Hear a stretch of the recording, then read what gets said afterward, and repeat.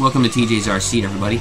This trailing video is the companion footage to the previous video where I replaced the O-ring seals on the Desert Lizard shocks with new, fatter O-rings. Today we're going to see if the new seals stand up better to the frigid cold than the originals. You can see the results to this at the end of that install video, which will be linked in the description box and at the end of this video. Thanks so much for being here, and enjoy the rest of the trail.